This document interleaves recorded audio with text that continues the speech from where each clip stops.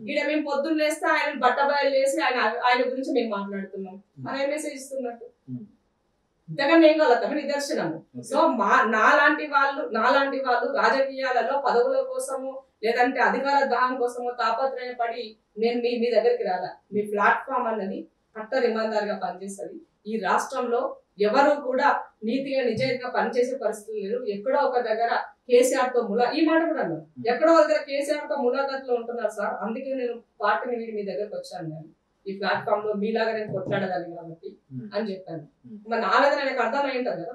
అర్థమైనప్పుడు ఆయన విజయం మారుతుంది అనుకుంటా కదా. అది ఏం మారకుండా నిన్న రాష్ట్రపతికి సంబంధించిన స్పీచ్లో మీరు ఆ మాట ఇచ్చినట్టు అర్థం. ఇక్కడ ఉన్న గవర్నర్కి రెస్పెక్ట్ చేయడు. ఇక్కడ ఉన్న ప్రోటోకాల్ ఇయ్యాడు. ఆమెకు ఆమెని కనీసం జెండా వందనం చెయ్యమంటే కూడా కోర్టుకు పోయి అడగాల్సిన పరిస్థితి ఇక్కడ ఉన్నది. రాజ్యాంగానికి విలువ అయ్యాడు అంబేద్కర్కి దండ Hmm. మరి అలాంటి వ్యక్తుల మనసోపతి ఏంటి.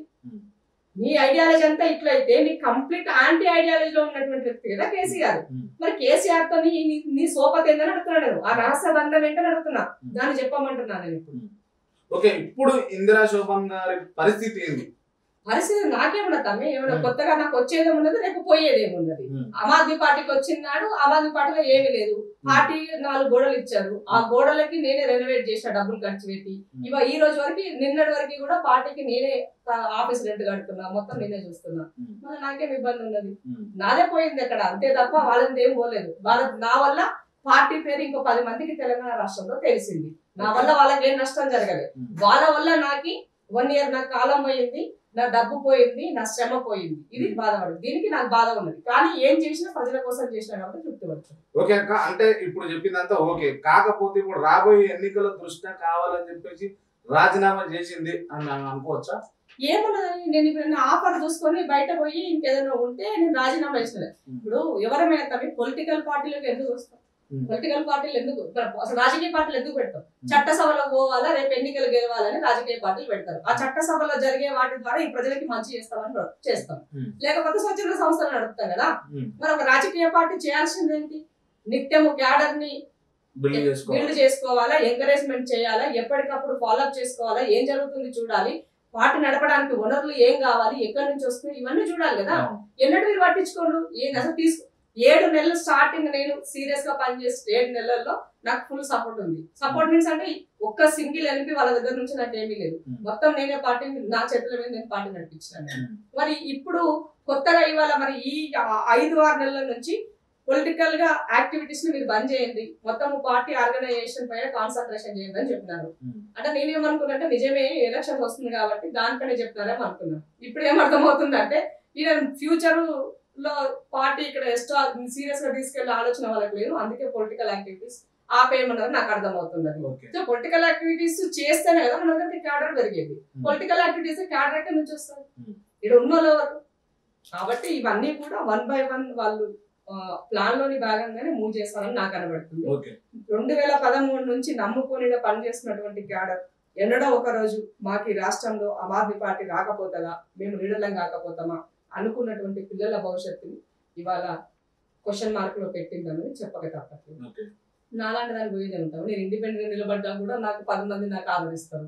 ఏ పార్టీ పోయినా కూడా నన్ను ఆదరిస్తారు. నాకేం నష్టం నష్టం నాకేమన్నా ఏం నష్టం కాదు కదా. నష్టం జరిగింది. ఓకే. సిగ్నేచర్ స్టూడియోస్ వేదికగా మీరు ఏ పార్టీకి పోబోతున్నారు అన్నది చెప్తారా మేడం? ఇప్పటికీ నేనేం డిసైడ్ చేసుకుంటాను ఎక్కడికి వెళ్ళాలి అనేది కూడా ఏం డిసైడ్ చేసుకోవాలి బట్ ఇందిరా శోభన్ అనేది అందరికి అన్ని పార్టీల వాళ్ళకి అందరి వ్యక్తిగా ఫీల్ అవుతారు. Hmm. ప్రజల కోసం జెన్యున్గా పనిచేస్తాను కాబట్టి ఇప్పటి వరకు నేను ఇంకా ఎవరికి ఎలాంటి ఏమి చేయలేదు చెప్పలేదు. నాకు కాల్ చేశారు మాట్లాడడం అంతవరకే నేను ఒక విత్ ఇన్ వన్ వీక్లో డెఫినెట్గా నా కార్యాచరణ ఏంటి అని ప్రజల. ఓకే. అంటే రేవంత్ రెడ్డి నుంచి కాల్స్ వచ్చినాయా మీకు? ఇప్పుడు అప్పుడు ఏమంటారు అది నా ఏమంటారు మదర్ ఫౌండేషన్ మదర్ ఫౌండేషన్ నుంచి ఆటోమేటిక్గా ఏమైంది మా అమ్మాయికి అని అడుగుతారు కదా. Hmm. మామూలుగా అడుగుతారు కదా. ఉమ్. చేసే కాలంలో రొటీన్ కాలంలో నాకు కూడా కాల్ చేస్తాను మాట్లాడతాను. మాట్లాడు అంటే మీరు ఏమని స్పందించారు మరి? వస్తామన్నా అన్నారా రామన్నా అన్నారా?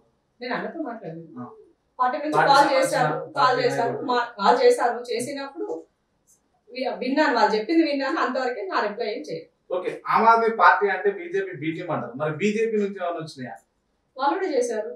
అరే ఇప్పుడు తెలంగాణలో పని చేస్తుంది గట్టిగా అనుకున్నప్పుడు ఎవరైనా అడుగుతారు కదా. అది కామన్ అంతేందుకు బీఆర్ఎస్ పార్టీలు కూడా అడిగినారు నన్ను.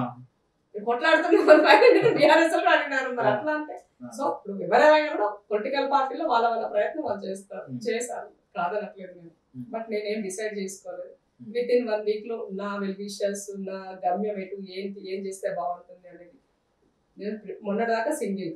ఇప్పుడు ఒక టీమ్లో పనిచేస్తున్నాను. సో టీం కూడా నేను ఉంటుంది కదా డెఫినెట్గా చెప్తాను ఓకే ఈ ఎన్నికల ముంగట ఈ నిర్ణయం తీసుకోవడం వల్ల ఇందిరా శోభన్ గారు రాజకీయ జీవితం ఏమన్నా ఇబ్బందుల పాలయ్యే అవకాశాలు ఉన్నాయా? ఇబ్బంది ఏముంటది అవి ఇబ్బంది ఏముంటది ఏ- ఏమి ఇబ్బంది ఉంటుంది చెప్పు. ఇప్పుడు. నేను ఏమంటారు? అంటే మీరు ఒకటి కాదు రెండు కాదు మూడు పార్టీలు దాదాపు మూడు నాలుగు పార్టీలు మారుతా ఉన్నారు. మరి ఎట్లా ఇది? కాంగ్రెస్ పార్టీ నాకు గుర్తింపు వచ్చిన పార్టీ. నేను నేను పుట్టిన పార్టీ అది. ఉమ్, రెండో పార్టీ షర్మిల పార్టీ. రాజశేఖర్ రెడ్డి గారి యొక్క ఐడియాలజీ ఆడ మాట్లాడిన. ఆమె పార్టీ పెట్టక ముందుకు పోయినా పార్టీ రిజిస్ట్రేషన్ కాకముందుకే బయటకు వచ్చిన. ఆమె సెల్ఫ్ రెస్పెక్ట్ ఉన్న ఉమెన్ కాబట్టి అది మన వల్ల కాదనుకుందాం వచ్చాను. నేను ఇండిపెండెంట్గా పనిచేస్తున్నప్పుడు ఆమ్ ఆద్మీ పార్టీ వాళ్ళు వాళ్ళు అడిగారు కట్టర్ ఇమందార్లో ఆ ప్లాట్ఫామ్ ఈ తెలంగాణ రాష్ట్రంలో ఉన్న సబ్బండ వర్గాలు చాలా మంది పొలిటికల్గా దూరం ఉన్నటువంటి వాళ్ళకి మనం ఇది కష్టపడితే అదొక ఉపయోగపడుతుందని ఆలోచించాం. వాళ్ళకే లేనప్పుడు మనం ఏం చేస్తాం అంటే నష్టం జరిగింది. బట్ అల్టిమేట్గా ఏమంటారు ఏది ఎప్పుడు ఒక వ్యక్తి లేకపోతే ఒకటేమి అదైపోదు కదా. బట్ డెఫినెట్గా ముందో వెనుకో సస్టైనబిలిటీ కోసం పోరాటం చేస్తూనే ఉంటాం. అధికారమే పరమావధిగా మనం పనిచేస్తాం కాబట్టి ఇంతకన్నా కొత్తగా వచ్చేది లేదు కొత్తగా పోయేది లేదు. సరే ఇండిపెండెంట్గా ఏ పార్టీ నుంచి కాకుండా ఇండిపెండెంట్గా మరి పోటీ చేసే అవకాశాలు ఉన్నాయా? అదే చెప్తున్నాను నేను. ఏం చేయాలి అనే దానికి ఇప్పటికిప్పుడు నేను ఏం డిసైడ్ చేసుకోను. ఇఫ్ నేను డిసైడ్ చేసుకుంటే డెఫినెట్గా మీ అందరిని పిలిచి మాట్లాడతాను. నేను ఎక్కడికి పోతే బాగుంటుందని ప్రజాక్షేత్రంలో ప్రజలు ఇచ్చినటువంటి తీర్పు మేరకు నిర్ణయం తీసుకోవాలనుకుంటున్నా. మీ సిగ్నేచర్ స్టూడియో ద్వారా పెట్టండి ఒకటి నడిపించండి. ఇందిరా శోభన్ ఏ పార్టీకి పోతే బాగుంటుందని మీరు అనుకుంటున్నారని పెట్టండి ఒకటి. మీ నుంచి ఇచ్చిన సజెషన్ దాన్ని బట్టి తీసుకుంటాం. ఓకే. తప్పకుండా Thank you. Thank you so much.